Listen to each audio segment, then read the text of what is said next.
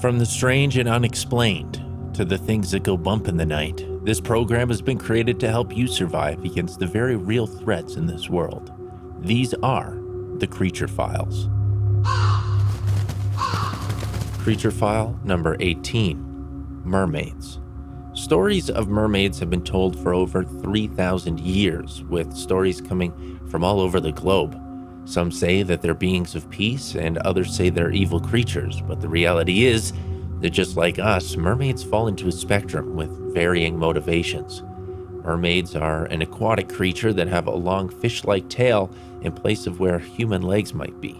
From a distance, their top halves resemble a human, but there are some key differences. For example, mermaids often have webbing between their five human like fingers and they also have gills that are usually below the ear or on the neck. Mermaids exist on a scale, with older branches of their family tree looking more like fish, while some look almost human.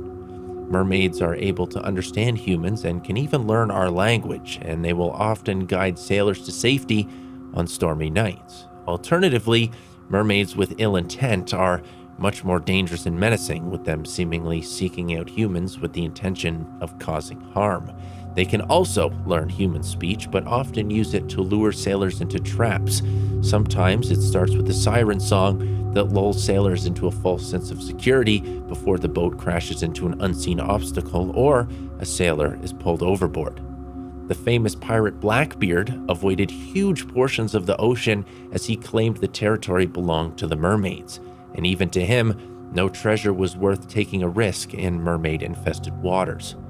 Mermaids are nomadic, which took us by surprise as we figured that mermaids had constructed the great city of Atlantis. However, our research has shown that Atlantis predates even mermaids.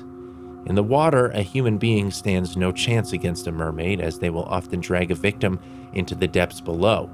They have incredible strength and durability from generations of surviving at the bottom of our oceans. However, mermaids are not a threat at all on land. Rather than wage war against these aquatic beings, we are actually working towards coexistence, though with limited success. This concludes Creature File number 18 Mermaids. Tune in throughout the week and the rest of this month for more survival tips and creature portfolios, and as always, stay safe out there.